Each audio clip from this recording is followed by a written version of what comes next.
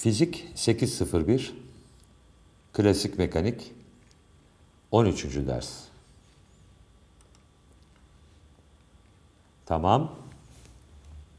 Önümüzde uzun bir hafta sonu var. Bundan önce bir dersimiz daha var. Eğer kütlesi m olan bir cismin varsa çekim alanı, çekim kuvveti bu yöndedir. Eğer bu benim y'min artan değeri ise bu durumda vektörel olarak bu kuvvet eşittir eksi mg y şapka şeklinde yazılır. Bu bir boyutta bir problem olduğu için genellikle basit olarak f eşit eksi mg yazacağız. Bu işaret eksi olmalıdır çünkü bu y'nin artan değeridir. Eğer bu seviye y eşit sıfır seviyesi ise bu durumda çekim potansiyel enerjisini sıfıra eşit olarak seçebilirim. Ve bu y'dir. Bu durumda çekim potansiyel enerjisi pozitif mgy'ye eşittir. Bu u'dur. Eğer y'nin bir fonksiyonu olarak çekim potansiyel enerjisinin grafiğini çizersem bu durumda düz bir çizgi elde ederim.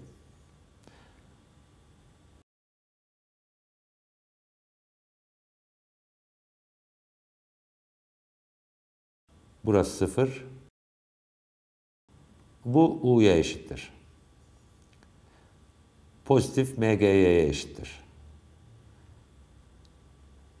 Eğer bu A noktasında isem ve bu cismi B noktasına hareket ettirirsem ben Walter Levin olarak bunu hareket ettiriyorum.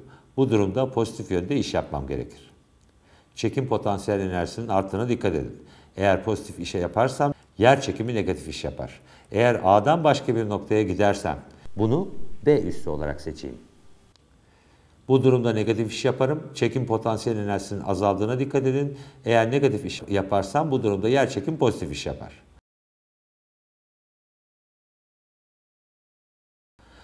Potansiyel enerjinin sıfır noktasını istediğim herhangi bir yerde seçebilirim. Tam burada seçiyorum. Potansiyel enerjimin sıfır noktasını kaydırmamın dışında bir şey değişmez.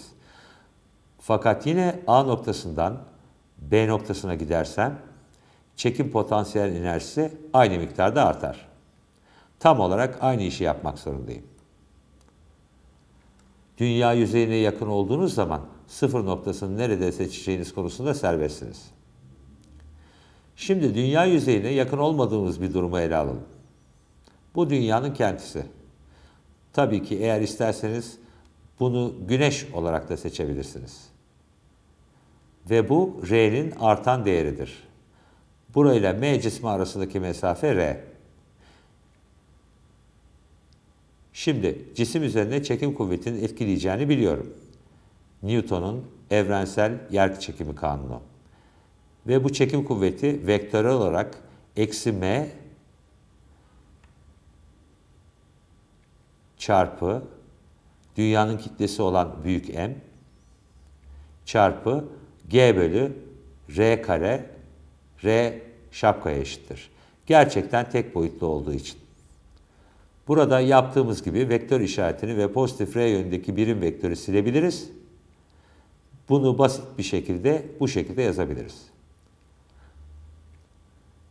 Geçen defa çıkardığımız çekim potansiyel enerjisi eşit eksi m çarpı dünyanın kütlesi m çarpı g bölü r şeklindeydi.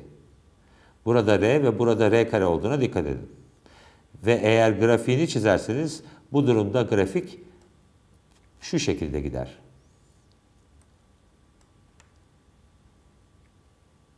Bu R ve bu ise artan potansiyel enerjidir.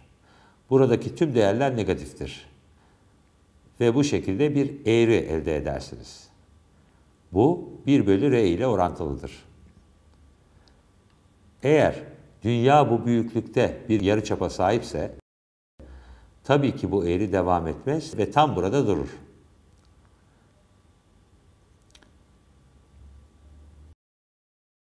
Eğer elimde bir kütle ile A noktasından B noktasına hareket edersem çekim potansiyel enerjisinin artacağına dikkat edin. Pozitif iş yapmak zorundayım. Hiçbir fark yok. Eğer A noktasından dünya yüzeyine daha yakın olan diğer bir B eşi noktasına gidersem çekim potansiyel enerjisinin azalacağını görürüm. Negatif iş yaparım. Eğer pozitif iş yaparsam yer çekimi negatif iş yapar.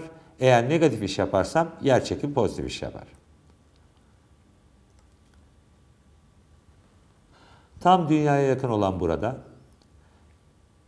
yani 1 bölü R eğrisinin dünyaya değdiği anda bu tamamen böyle bir çizgidir. Ve Y'ye olan bağımlılık R'ye olan bağımlılıkla aynıdır. Bu durumda dünyaya yakın durumu basitleştirebilirsiniz. Yer çekimi ivmesi değişmediği zaman doğrusal bir ilişki elde edersiniz. Fakat bu durum çok uzaklara gitmediğiniz istisnai durumlar için geçerlidir.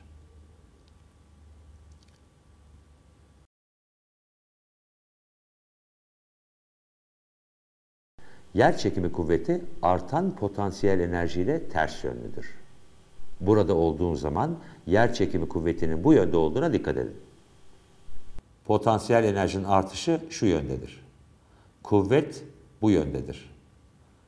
Burada olduğum zaman yer çekimi potansiyel enerjisi bu yönde artar. Yer çekimi kuvveti şu yöndedir. Burada olduğum zaman yer çekimi potansiyel enerjisi bu yönde artmaktadır. Yer çekimi kuvveti şu yöndedir. Burada yer çekimi potansiyel enerjisi bu yönde artmaktadır. Yer çekimi kuvveti şu yöndedir. Kuvvet daima potansiyel enerjinin artan değerleriyle ters yöndedir. Eğer bir cismi sıfır hız ile serbest bırakırsam bu durumda cisim daima düşük potansiyel enerjiye doğru hareket edecektir. Çünkü kuvvet onu düşük potansiyel enerjiye doğru hareket ettirecektir. Şimdi konuyu yer çekiminden yaya değiştiriyorum. Denge durumu uzunluğu L olan bir yayın var. Burayı x eşit 0 olarak seçiyorum. Onu x mesafesi kadar uzatıyorum ve ucunda bir m kütlesi var ve bir yer kuvveti olacaktır. Ve bu yay kuvveti. F eşit eksi kx şeklindedir. Bu bir boyutlu bir durum olduğundan endişelenmeye gerek kalmadan vektör işaretlerini koymaksızın yazabilirim. Burada sürtünme yok. Burası açıktır ki eğer elimde tutarsam bu Walter Levy'nin kuvveti artı kx'e eşit olur. Bu eksin artan yönüdür. Eğer x eşit 0 noktasını A noktası olarak ve x eşittir x noktasını da B noktası olarak seçersem bu durumda A noktasından B noktasına getirmek için yapmam gereken işi hesaplayabilirim. A'dan B'ye getirirken Walter Levy'nin yapması gereken iş A'dan B'ye giderken benim kuvvetim çarpı dx'in integralidir. Bu nokta çarpımdır. Fakat bu ikisi arasındaki açı 0 derece olduğundan açının kosinüsü 1'dir. Bu yüzden burada bir nokta çarpımı olduğunu ihmal edebilirim. Bu yönde hareket ediyorum. Bu integral sıfırdan x konumuna giderken şu şekli alır ve pozitif kx dx olur. Ve entegralin sonucu 1 bölü 2 kx kare şeklinde elde edilir. Bu yay potansiyel enerjisi olarak adlandırdığımız ifadedir. Bu potansiyel enerjidir. Bu x eşittir sıfırda potansiyel enerjinin sıfır olarak tanımlandığını ifade eder. Bunu yapmak zorunda değilsiniz fakat başka türlü yapmak saçma olurdu. Dünya yüzeyine yakın çekim durumlarında sıfır potansiyel enerjimizi neresi olarak belirleyebileceğimizi seçebiliriz. Oldukça büyük mesafeler durumunu ele aldığımız bu durumda artık bir seçim yapma hakkımız yoktur. Bu durumda potansiyel enerjiyi sonsuzda sıfır olarak tanımladık. Bunun sonucu olarak tüm potansiyel enerjiler negatiftir. Ve burada yay durumu içinde bir seçeneğiniz yoktur. X eşittir sıfırda potansiyel enerjiyi sıfır olarak seçiyorsunuz. Eğer şimdi x'in fonksiyonu olarak potansiyel enerjinin grafiğini çizerseniz bir parabol elde edersiniz Ve eğer siz buradaysanız bu durumda kuvvet daima potansiyel enerjinin artmasının tersi yönündedir. Eğer bu yönde giderseniz potansiyel enerji artar. Kuvvetin bu yönde olacağı açıktır.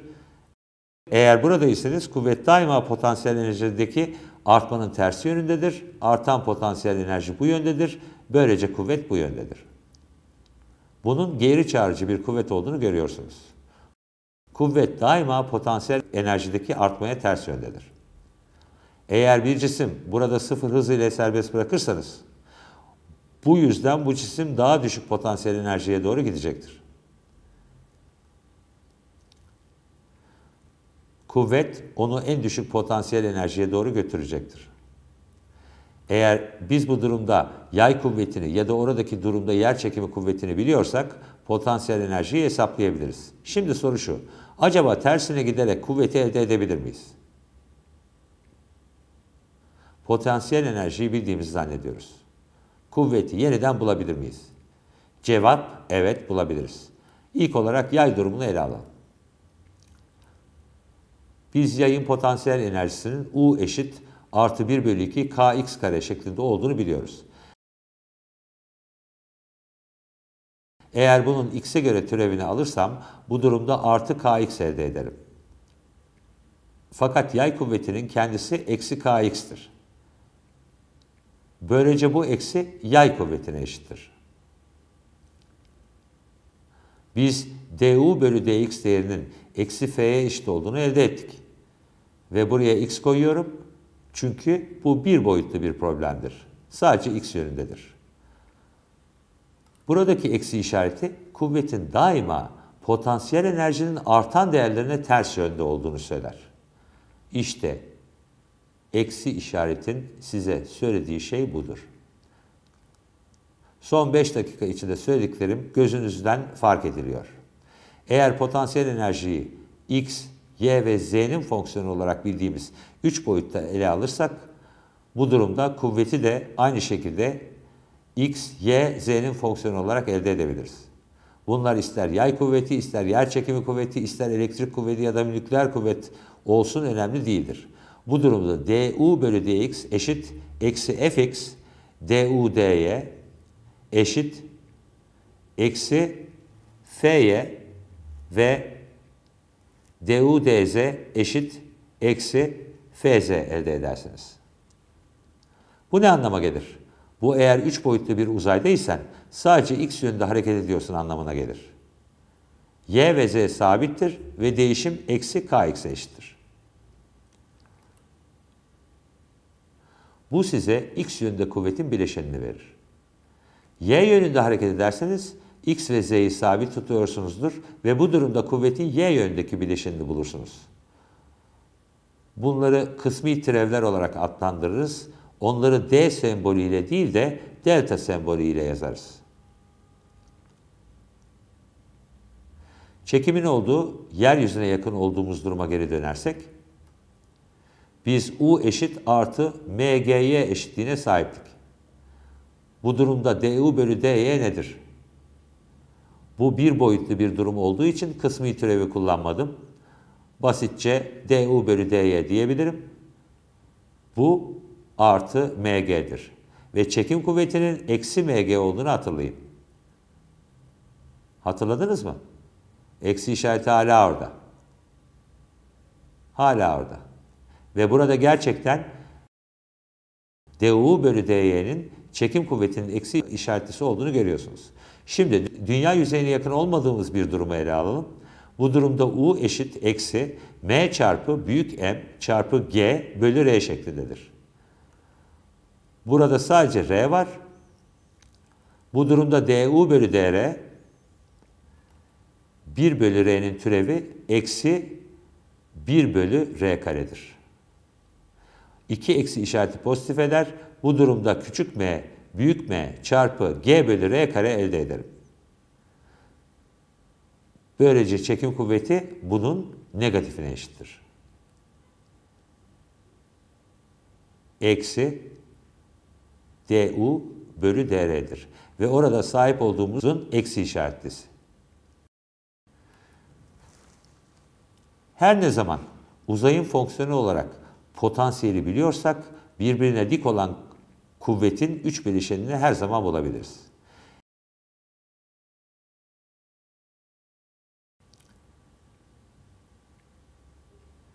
Eğri bir yüzeye sahip olduğumu varsayalım. Aynen bu ders salonunda olduğu gibi. Bu şekilde bir şey. Böyle bir şey. Bunu keyfi olarak y eşit sıfır doğrusu olarak seçiyorum. Ve hatta bu U çekim potansiyel enerjisini de sıfır olarak seçiyorum. Ve bu eğri y eşit x'in fonksiyonudur. Ve eğrinin kendisi çekim potansiyel enerjisini temsil etmektedir. Bu y ve bu x. Çekim potansiyel enerjisi U eşit mgy'dir. Fakat y x'in bir fonksiyonudur ve bu aynı zamanda m çarpı g çarpı f x'tir.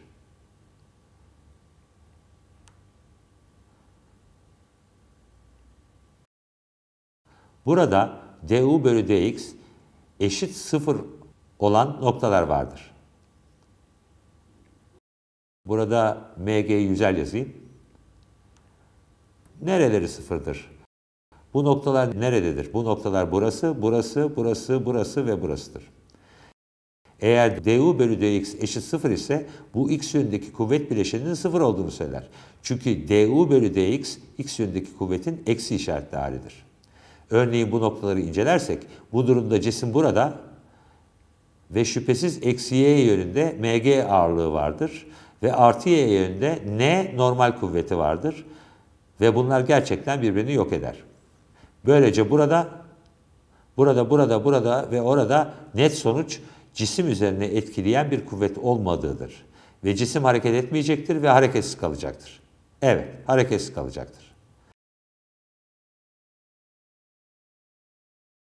Fakat bu nokta ve o nokta arasında büyük bir farklılık vardır. Bu farklılığı hemen görürsünüz. Eğer buraya bir bilye koyarsam bu bilyeyi burada tutmam için anamdan emdiğim süt burnumdan gelecektir. Çünkü orada bu ders salonunun köşesinde bir esinti olsa bile bu esinti bilye üzerinde çok küçük bir kuvvet ile etki edecektir ve bilye yuvarlanmaya başlayacaktır. Aslında ne olacağı bellidir ve daha düşük potansiyel enerjiye doğru gidecektir. Fakat eğer bu nokta biraz kaymış ise bu durumda daha düşük potansiyel enerjilere gitmek isteyecektir. Kuvvet daima potansiyel enerjinin artışına zıt yöndedir. Böylece kuvvet onu geri çağıracaktır. Bunu kararlı denge olarak adlandırmamızın sebebi budur. Daima bu noktaya geri gelecektir. Bu kararsız denge durumudur. Burada bir düzenimiz var ve bunun nasıl çalışacağını size göstermek istiyorum. Burada eğilmiş bir cismimiz. Bir rayımız var. Sizlere daha iyi bir ışık ortamı sağlayayım. Orada görüyorsunuz. Cisim orada küçük bir top. Eğer en düşük seviyeden biraz kaydırırsam tekrar bu seviyeye gelmeye zorlanacaktır. Burada bir sürpriz yoktur. Bu çok önemli değil.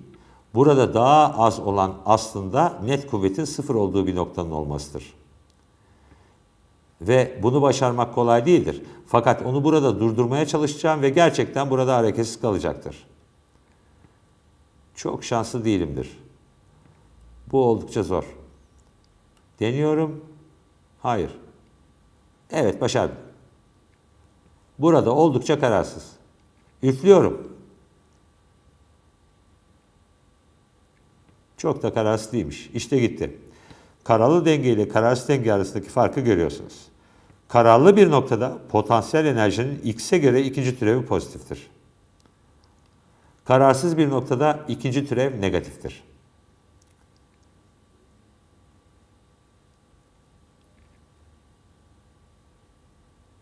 Şimdi yayıma geri döneceğim.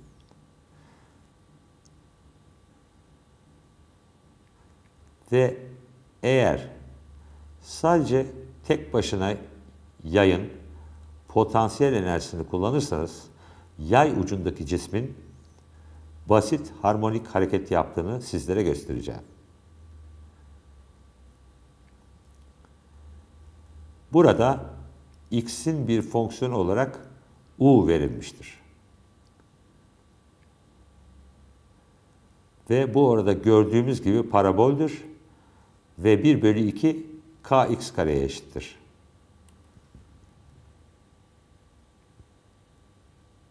Cisim x maksimumda bulunsun. Cisim artı x maksimum ile eksi x maksimum arasında salınacaktır. Rastgele bir x konumunda olduğu zaman onun üzerine potansiyel enerjinin artış yönüne zıt yönde bir kuvvet etkileyecektir. Böylece kuvvet açıkça bu yöndedir. Denge konumuna gelmeye zorlanacaktır. Orada olduğu zaman belli bir hızı olacaktır. Hız ya bu yönde olabilir ya da şu yönde olabilir. Belli bir sürati vardır ve yay kuvveti korunumlu kuvvet olduğundan şimdi mekanik enerjinin korunumunu uygulayabilirim. Bunu potansiyel kuyusu olarak adlandırıyoruz.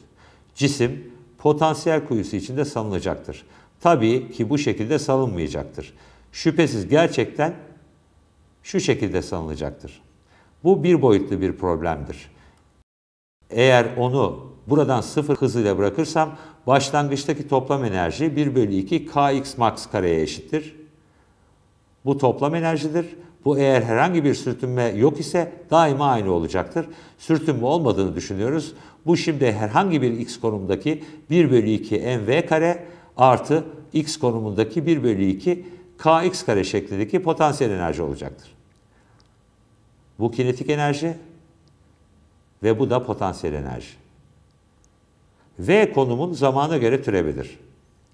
Bu yüzden bunu x nokta olarak yazabilirim. Şimdi yapacağım şey bunları biraz farklı olarak yazacağım. X nokta kareyi bu tarafa taşıyacağım. 1 bölü 2'ler sadeleşir. m'ye bölerim ve böylece k bölü m çarpı x kare ve sonra eksi kx max kare eşit sıfır elde ederim. Doğru yaptım mı? Evet biliyorum. O burada m var ve m orada olmak zorundadır. Ve şimdi yapacağım şey bu denklemin zamana göre türevini almaktır. Şimdi burada yerine oturan bir şey göreceksiniz. Zamana göre türevi alıyorum. Bu bana 2 çarpı x nokta zincir kuralını uygulamak zorundayım ve böylece x çift noktayı elde ederim. Bu ivme artı 2 çarpı k bölü m çarpı x zincir kuralı ile x nokta elde ederim. Bu sabittir ve başladığım zamanki toplam enerjidir ve tüm ifade sıfıra eşittir. İkileri sadeleştiriyorum. X noktaları da yok ediyorum. Çünkü sağ taraf sıfırdır. Şimdi ne elde ederim? X çift nokta artı K bölüme eşit sıfır elde ederim. Bu beni mutlu eder çünkü bunun basit harmonik hareket olduğunu biliyorum. Bu eşitliği daha önce de görmüştük. Bunu farklı bir yolla türettik. Bugün kuvvetleri kullanmadık. Sadece mekanik enerjinin korunumu kavramını kullandık. Bu denklemin çözümünü biliyoruz. Burada bir x olmalı. Birilerinin x dediğini duydum. Çok teşekkür ederim. Çözüm x eşit x max çarpı kosinüs omega t artı fi şeklindedir. Bu genlik ve omega karekök k bölü m'dir. Ve bu sanılım için periyot 2 pi bölü omega'ya eşittir. Bunu yapabildik. Yay kuvvetleri korunumlu kuvvetler olduğu için mekanik enerjinin korunumunu uyguladık. Aynı sonuca nasıl ulaştığımızı tamamıyla farklı bir yoldan elde ettiğimizi gördünüz. Şimdi diğer potansiyel kuyusuna benzer bir şey deneyeceğim.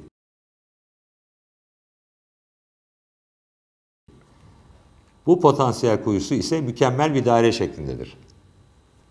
Kütlesi m olan bir cismi burayı da kaydıracağım ve mükemmel dairesel yol boyunca salınımı inceleyeceğim.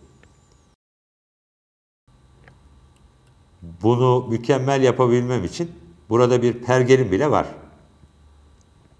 İşte bu yoludur.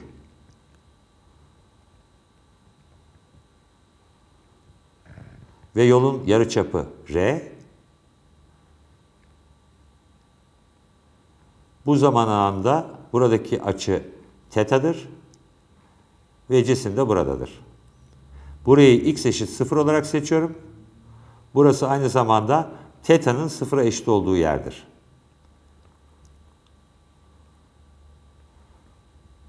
Bu y'nin artan değeridir. Burasını y eşit 0 olarak seçiyorum. Bu cismin kendi çekim potansiyel enerjisi mgy'dir. Bu y'nin ne olduğunu bilmek istiyorum. Bu yüzden bu mesafenin ne olduğunu da bilmek zorundayım. Bu oldukça kolay. Burası r kosinüs teta'ya eşittir. Böylece burası r eksi r kosinüs teta'dır. Potansiyel enerji eşittir. mg çarpı r parantez içinde 1 eksi kosinüs teta'dır. Eğer burayı sıfır olarak seçersem bunu değiştirmekte serbestim. Fakat burada böyle seçmek oldukça mantıklıdır. Eğer teta eşit 0 ise kosinüs teta eşit 1'dir. Ve bu durumda u eşit 0 elde edersiniz. Ve tabii ki benim tanımladığım bir şeydir. Bu benim 0 olarak belirlediğim bir şeydir. u eşit 0'dır. Teta eşit pi bölü 2 olduğu zaman cisim buradadır. Cisim burada olduğu zaman potansiyel enerjinin U eşittir mgr olduğunu bulacaksınız. Bu tamamen doğrudur çünkü bu durumda burası ve y sıfır arasındaki mesafe r'dir. Bu teta açısının fonksiyonu olarak potansiyel enerjidir.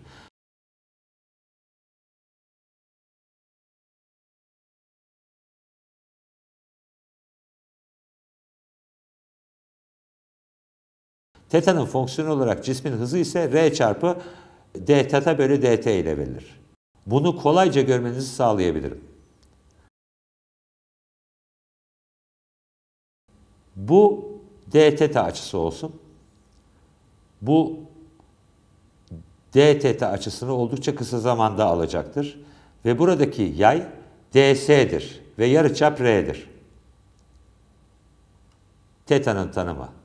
Bu teta'nın radyan olarak tanımı ds bölü r eşit d teta şeklindedir. Bu bizim radyan tanımımızdır. Sağın ve solun zamana göre türevini alırsam ds bölü dt elde ederim. Bu yay boyunca teğetsel hızdır. ds bölü dt eşit r çarpı d teta bölü dt ve bunun için teta nokta yazabiliriz. D teta bölü dt bazen omega olarak adlandırılır ve o açısal hızdır. Bunu omega açısal hız olarak seçerseniz bu durumda açısal hızın zamanla değiştiğini aklınızda bulundurun.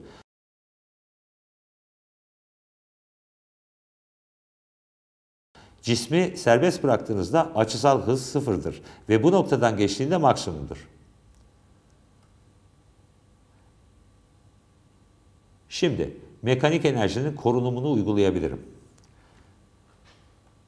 Çünkü herhangi bir teta açısında hızın yani kinetik enerjinin ve potansiyel enerjinin ne olduğunu biliyorum. Toplam enerjinin sadece başlangıç şartlarına bağlı olarak mekanik enerji olduğunu kabul edelim. Belki burada sıfır ile bırakırım, belki çok az miktarda hız veririm. Bu bir değer ve sabittir. Böylece herhangi bir teta açısında mekanik enerji 1 bölü 2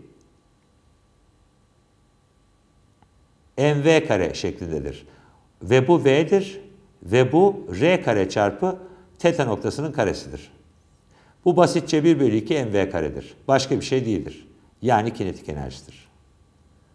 Artı mg çarpı r çarpı 1 eksi kosinüs teta şeklindeki potansiyel enerjidir. Bu ifade daima aynıdır ve teta açısından bağımsızdır. Çünkü yer çekimi kuvveti korunumlu bir kuvvettir. Bu mekanik enerjinin korunumudur.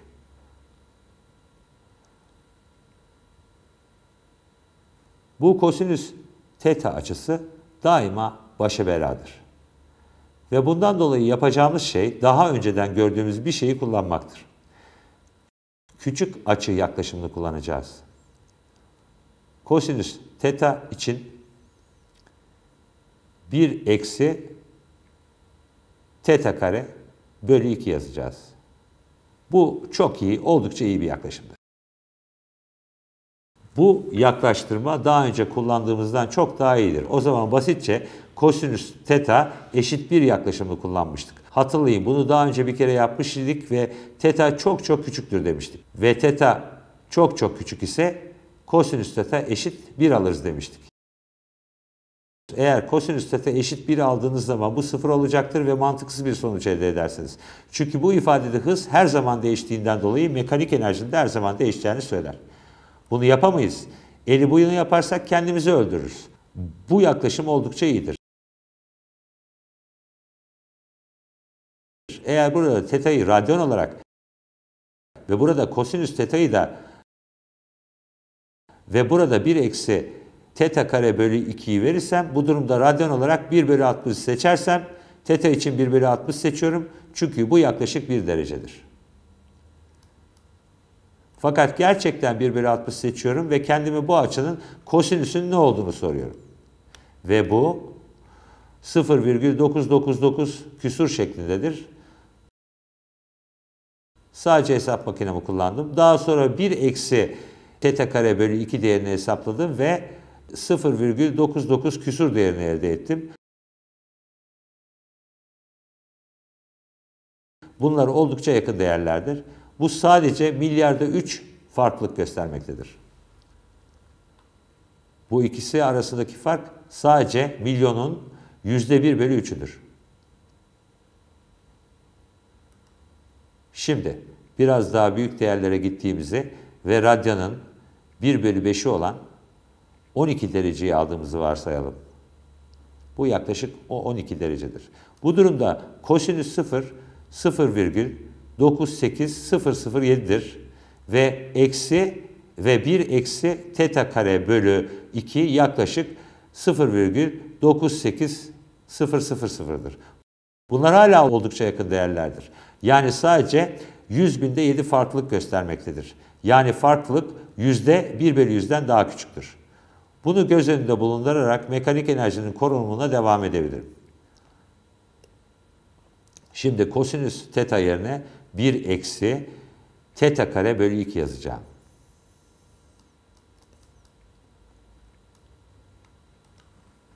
Buradan devam edeceğim. Tahtanın ortasını daha iyi görebildiğiniz için daima burasını kullanmak her zaman iyidir.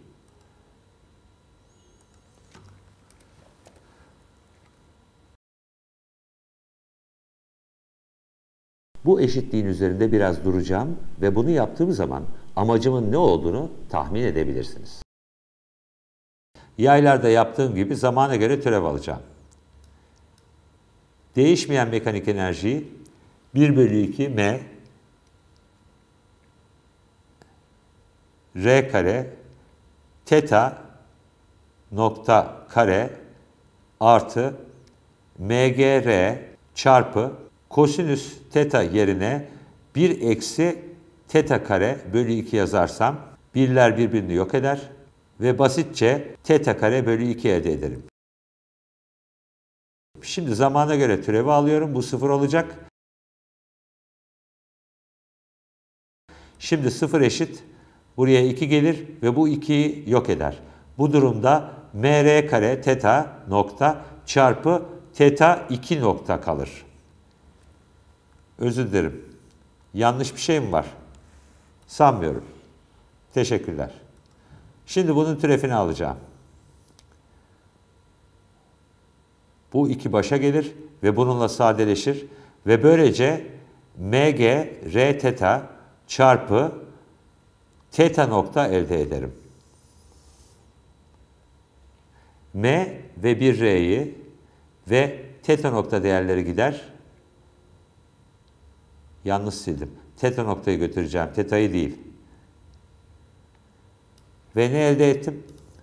Teta 2 nokta artı G bölü R çarpı teta eşit 0 elde ettim.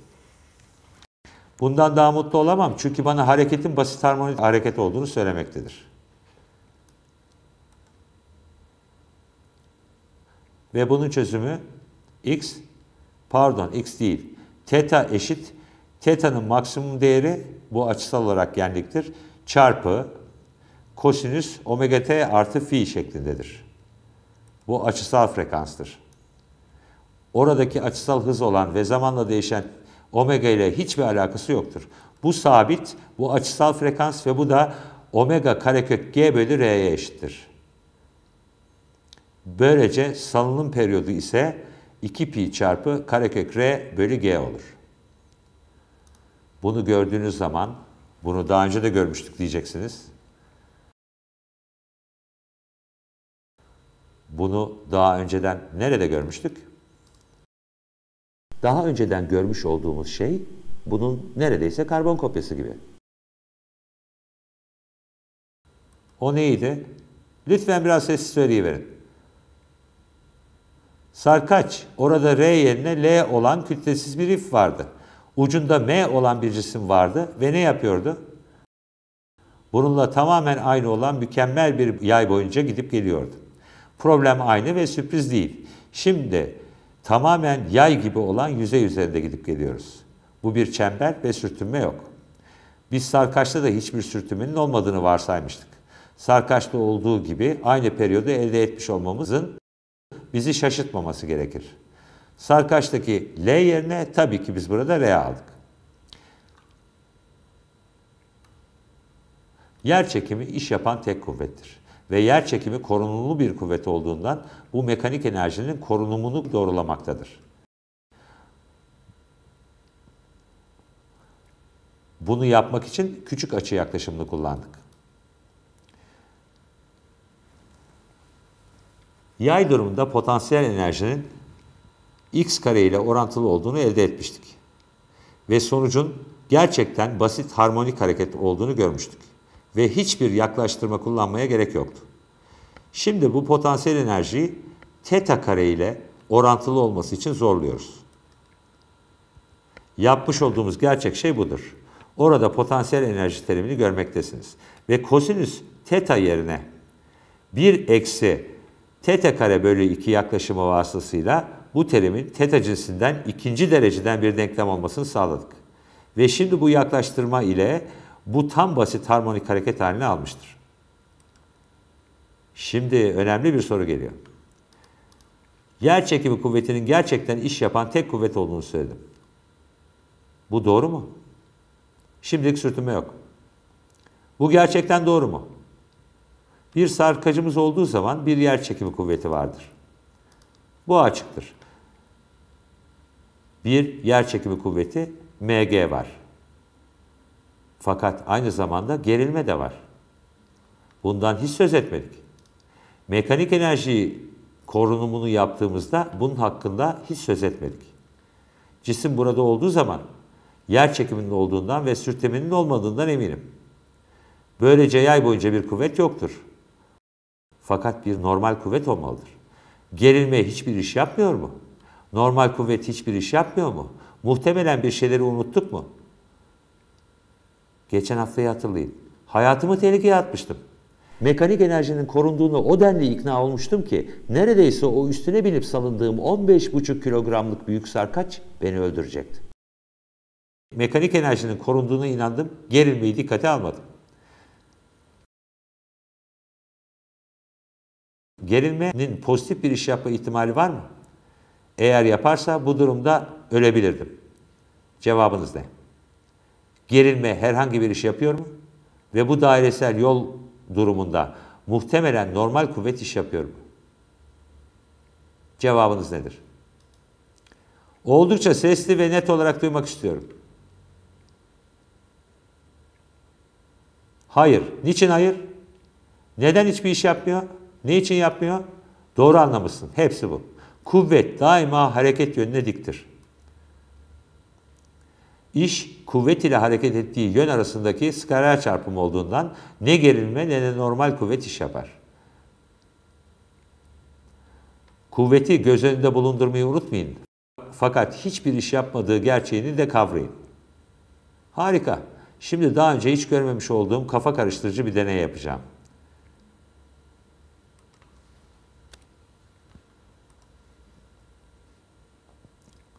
Çember şeklinde bir yolumuz var. Onu hemen önünüzde görmektesiniz. Bu bir çemberdir. Çember olmadığını da düşünebilirsiniz fakat çemberdir. Üreticisinin verdiği bilgiye göre bu çemberin yarıçapı yaklaşık 5 metre belirsizlik ile 115 metredir.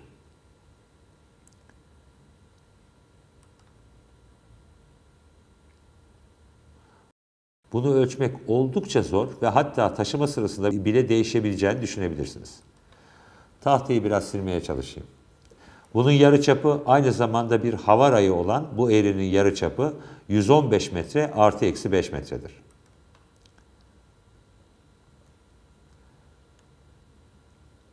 Şimdi salınımların periyodunu hesaplayabiliriz.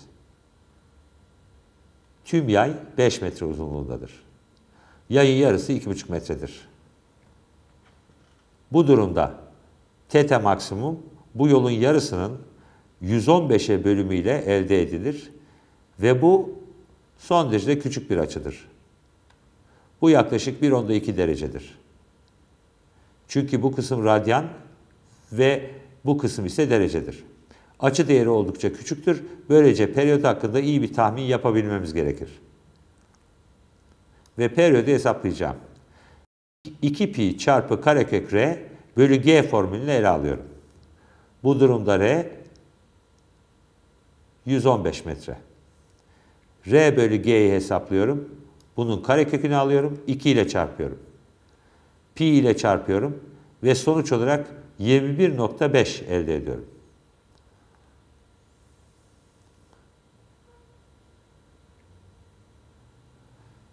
Ve bu bir tahmindir.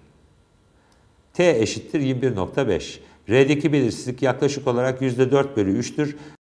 R'nin karekökü olduğundan 5'in karekökünü alırsak bu yaklaşık %2,2'dir. Eğer bunu 0,22 ile çarpacak olursam belirsizliği yaklaşık 0,47 olarak elde ederim. Bunu yarım saniye olarak alalım. Bu oldukça zor bir tahmindir ve salınım periyodu 21,5 artı eksi yarım saniyedir. Şimdi bunu gözlemleyeceğim. Ve bunların değerlerinin birbirine kıyasla ne olduğunu görmeye çalışacağız. 10 kez salınım yaptırmak istemiyorum. Bu yaklaşık 3, 4 veya 5 dakika alacaktır. Bu oldukça uzun bir zaman. Bu gerekli değildir. Çünkü benim reaksiyon zamanım 0.1 saniye. Sadece bir salınım yaptırsam bile bu elde edeceğim değerin bu sayı ile uyumlu olup olmadığını görmek için yeterlidir. Bu oldukça güzel bir deneydir. Cismin 21 saniyede ileri geri gidip gelmesini görmek oldukça eğlencelidir. Sizlerin memnun olmanız ve benim tatmin olmam için bunu 3 defa salındıracağım. Bu gerekli değil fakat yapacağım. 3t değeri bir sayı artı eksi 0.1 saniye olan benim reaksiyon zamanım olacaktır ve sonra bunun tümünü 3'e bölebiliriz. Bu durumda şüphesiz hata 3 kat azalacaktır. Bu sayının bununla uyuşup uyuşmadığını göreceğiz. Pekala. Birisinin böyle 115 metre yarı çaplı bir hava rayı yaptığını hayal edebilir misiniz? Buranın yüksekliği ne kadardır? Belki 8 metredir. 115 metre bu yükseklikten yaklaşık 10 kat daha uzun. Daha fazla. Tavandan 15 kat daha yüksek. İnsanların bunu yapmış olması şaşırtıcıdır. Gerçekte bugünlerde bunu satın bile alamazsınız. Eğer daha eski değilse bu muhtemelen 50 yıllıktır. Tüm bu deliklerden havanın dışarı üflemesini elde etmem gerekir. Burada bilemeyeceğiniz sayıda çok küçük delik var. Hava şimdi dışarı doğru üflüyor. Ve cisim bu yere koyulacak ve sadece yer çekiminden dolayı hareket edecektir. Hepsi bu.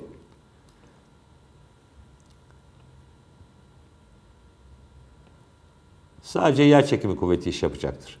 Buradan zamanı ölçeceğiz. Zamanı hemen başlatmayacağım. Cisim gittikten sonra durmaya başlayacağı an zamanı çalıştıracağım. Bu benim için önemli bir kriterdir. cisim gidip tekrar gelirken durma anına geldiğinde zamanı başlatmak benim için oldukça kolay olacak. İzlerken genlikte biraz azalma olduğunu fark edebilirsiniz.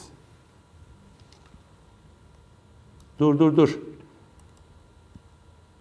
Çünkü kesinlikle bir miktar sürtünme vardır. Oldukça küçük ama sıfır değildir. Tadını çıkarın. Sadece ona bakın. Bu inanılmaz değil mi? Sadece yer çekimiyle ilerliyor. Sanki 115 metre uzunluğunda bir sarkaç gibi. İlk salınımı tamamlamak üzere.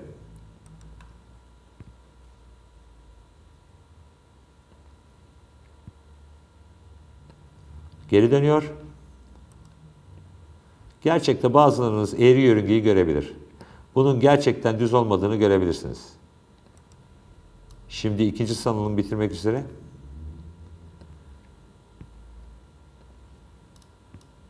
Eski konumuma gitsem daha iyi olacak.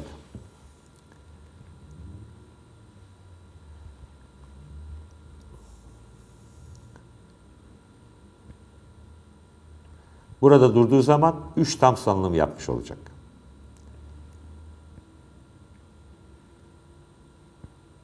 ...64,05 saniye. Bunu durdurayım.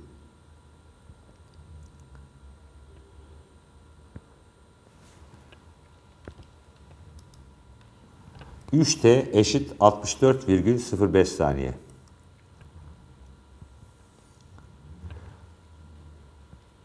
Bu değeri 3'e bölersem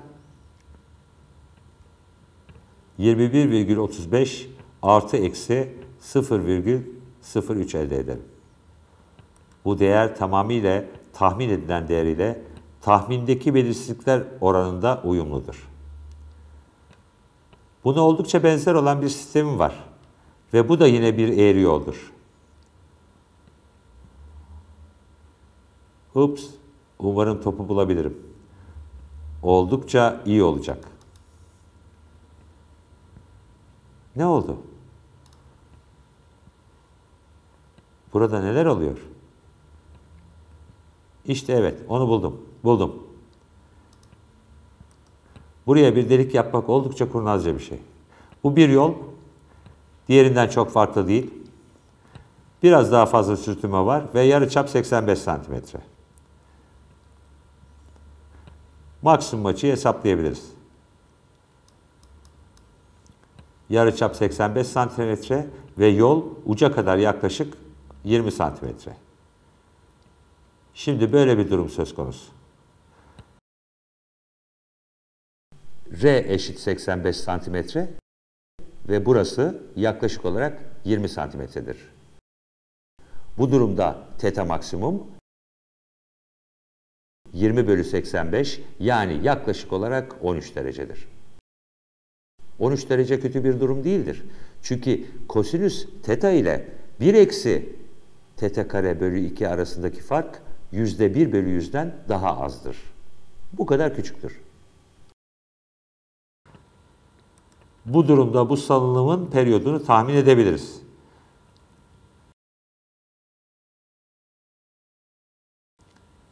Yaptığımız şeyi aynen yapabilirsiniz. 2 pi çarpı karekök r bölü d'ye hesaplıyorsunuz. Ve periyodu 1,85 saniye olarak buluyorsunuz. Kesinlikle yarı çapın belirsizliği oldukça büyük değildir. Fakat yarı çapın yaklaşık 1 santimetreden daha iyi hassasiyetle ölçüldüğünden emin değiliz. Böylece bu 85 artı eksi 1 santimetredir. Bu yaklaşık yüzde 1 bölü 2 hatadır. Bu durumda tahminimdeki hata yüzde 0,6 olacaktır. Bu yaklaşık 0,01 saniyedir. Bu benim tahminim. Şimdi gerçekten bu 0,01 saniyenin doğruluğunu tartışmak istiyorum. Ve şimdi deneyi yapmak istiyorum. Tabii ki bunu 10 defa yapacağım. Çünkü bu durumda belirsizlik 0,1 saniyedir. Bu benim reaksiyon zamanımda. Ve böylece periyotta 0,01 saniyelik bir doğruluğu elde ederim. Böylece bu sayıları direkt olarak kıyaslayabiliriz ve şimdi yapacağım şey budur. Zaman ölçer burada ve bunu ileri geri salındıracağım. Ve bu sadece 20 saniye alacak. Sıfırladım. Buradan başladık. Fizikte kendimize büyük bir güvenimiz var. Doğru mu? Fiziğe inanıyoruz. Mekanik enerjinin korunumuna inanıyoruz. Başlıyor. Sayıyor musunuz? Bu iki mi? Evet. Üç mü? Dört mü? Size inanmıyorum. Tamam. Yeniden başlıyoruz. Şimdi bir, iki, üç, dört, beş, altı, yedi, sinirlenmeye başlıyorum. Sekiz, dokuz, on. Vay canına. 22,7 saniye. Bu değerin 18 saniye olması gerekirdi. Şimdi 22,7 saniye çıktı. Mekanik enerjinin korunumunda bazı şeyler gerçekten yanlış olmalı. Veya başka şeyler mi var? Ve bu iki deney arasındaki fark nedir? Affedersiniz. Hayır, sürtünme çok düşük. Sebep bu değil. Oldukça büyük bir fark var. Bu hafta sonu duş alırken bunu düşünün. Burada hareket eden ve orada hareket eden bu iki cisim arasında kocaman bir fark vardı. Bunu bulduğunuz zaman bunun daha yavaş olmasının nedenini bulursunuz. Ama sebep sürtünme değildir. Gelecek derste görüşürüz.